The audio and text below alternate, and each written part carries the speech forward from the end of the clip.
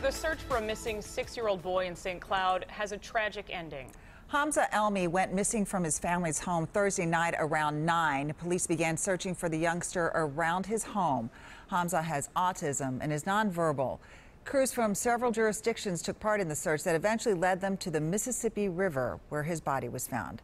Reg Chapman was in St. Cloud after his family learned of the discovery. Reg joins us right now from the newsroom with more. What a tragic story, Reg. It really is, Amelia. Family members say Hamza has walked away from his home before. They say he always goes to a special place next door, but Thursday night was different.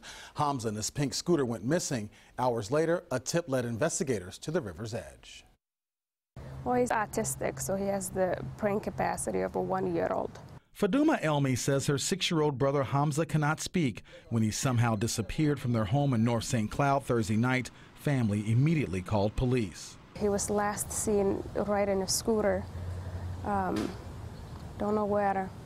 Just took off. Faduma says Hamza had strayed away from home in the past.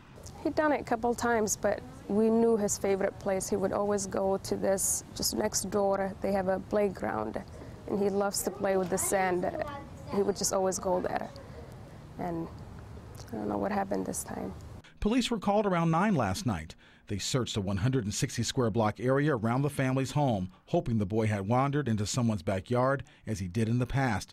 Crews, along with family and friends, searched through the night. This morning, around 8:30, police got a tip. We did receive tips. We did find scooters that we mentioned. Uh, one of those scooters uh, being here uh, at this river site. The search of the neighborhood expanded into a search of the Mississippi River. That pink scooter was found in the water, so divers went in looking for any signs of Hamza. Uh, after conducting a water search, that's when we did end up finding uh, the body of the young boy. This morning, our worst nightmare has come to fruition, and a family is without a child. Now, police say they don't expect foul play. Investigators say the circumstances surrounding this incident indicate that this was a tragic accident, Amelia, with a very sad outcome. That's for sure. Yeah. All right, Reg. Thank you.